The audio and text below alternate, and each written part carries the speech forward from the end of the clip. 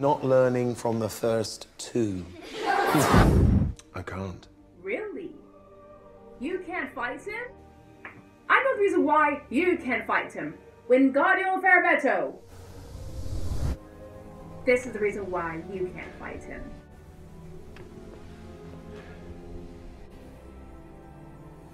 You and Grindelwald were close as brothers. Oh, we were closer than brothers.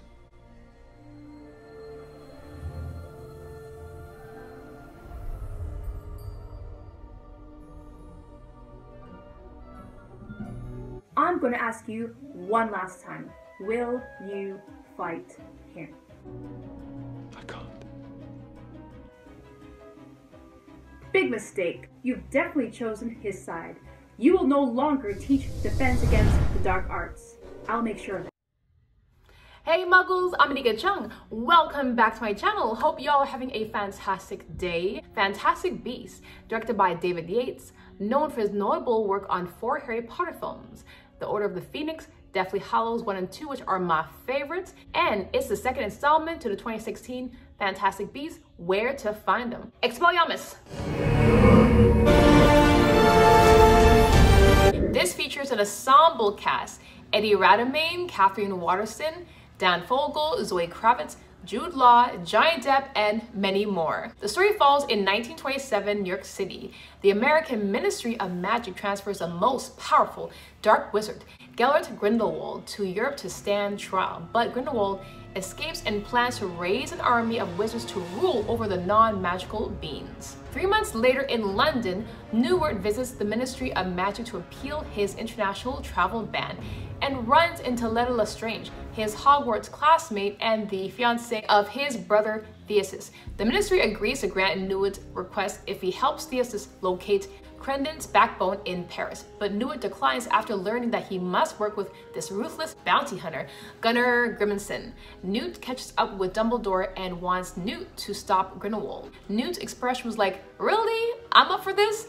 For some reason, Dumbledore definitely saw something in him for the reason why he wanted him to really stop Grindelwald. I actually liked this movie, however, there are some parts of the film that was lacking wizardry action, and like we usually see in the first Fantastic Beasts film and the Harry Potter movies. I love the first movie and it was so good. There was a lot of characters, but not enough development and backstory for some of them, especially Credence and Nagini. I was wondering, how did Credence survive? And how did Voldemort's pet snake along with Credence end up in the circus freak show? Grindelwald and Dumbledore didn't have enough screen time and wizard action. And when you see them, it's mainly they're having a conversation with their characters that they are talking to and also walking around in the city. The opening of this scene was lit.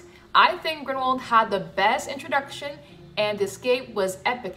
This was like a Jack Sparrow moment, but this time it was like, you'll always remember this as the day that you almost caught the great Gellert Grindelwald.